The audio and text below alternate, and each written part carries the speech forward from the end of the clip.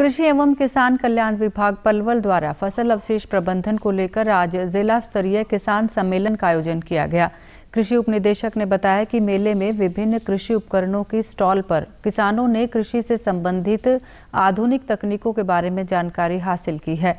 किसान कृषि विभाग के कस्टम हायरिंग सेंटर पर जाकर कृषि यंत्रों की मदद से फ़सल अवशेषों का उचित प्रबंधन कर सकते हैं। उन्होंने बताया कि प्रदेश सरकार द्वारा किसानों को फ़सल अवशेष प्रबंधन के लिए एक हज़ार रूपए प्रति एकड़ के हिसाब से अनुदान दिया जा रहा है। हमारा मोटिव यही है कि पराली को मैनेज करना है इन सीटू और एक सीटू में, जिसमें हरियाणा सरकार हज़ार रुपये प्रति एकड़ के हिसाब से इन सीटू में और एक सीटू में भी हज़ार रुपये प्रति एकड़ के हिसाब से दे रही है।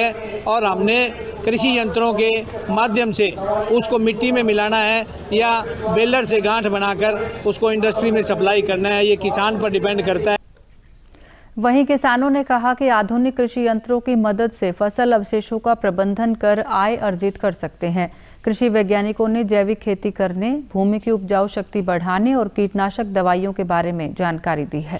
मेले में जो हमें जानकारी मिल रही है जी शुरू में जो अवशेष जलाने की जानकारी है, ये बहुत बढ़िया मेला लगा, बहुत बढ़िया हमें जानकारी मिली। इससे हमें जुताई करने से, इस रूटर वेटर की इसमें भी सब्सिडी के भी बारे में बताया। और हम यहाँ मेले में आए, जहाँ हमने अच्छी मशीन, बीज, दवाई, super seeder rotavator happy seeder जिनके बारे में सभी के में अच्छी जानकारी ली और दवाई और बीज के बारे में भी दवाई, जानकारी ली।